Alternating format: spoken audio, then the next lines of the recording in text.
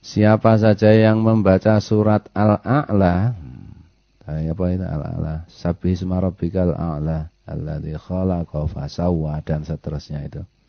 Sampai suhufi Ibrahim wa Musa. Siapa yang membaca surat itu, Allah memberikan kepadanya sepuluh kebaikan sejumlah tiap-tiap huruf yang oleh Allah telah turunkan kepada Nabi Ibrahim dan Nabi Musa serta Nabi Muhammad alaihi wassalatu wassalam. Oke banget ya. Maka al-a'la atau sabis itu dihafalkan, sering dibaca. Nek Jumat atau malam Jumat dibaca. Atau nek pas hari raya Idul Fitri, Idul Adha biasanya dibaca. Nah kalau siapa aja membaca surat itu oleh Allah diberi sepuluh kebaikan, sepuluh pahala kebaikan. Kali tiap huruf yang telah Allah turunkan kepada Nabi Ibrahim dan Nabi Musa serta Nabi Muhammad alaihi wassalam.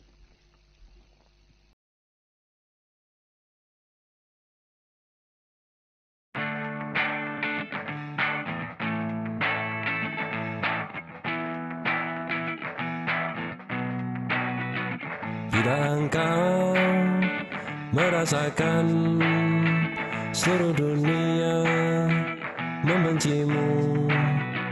Bila engkau putus asa Tak sanggup lagi teruskan langkah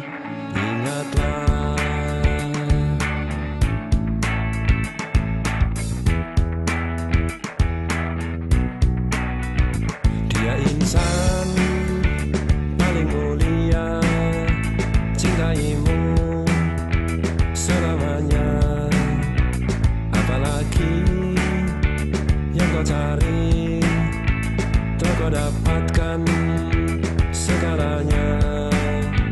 Ingatlah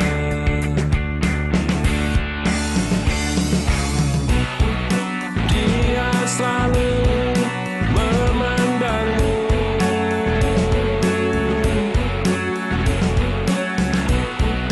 Dia selalu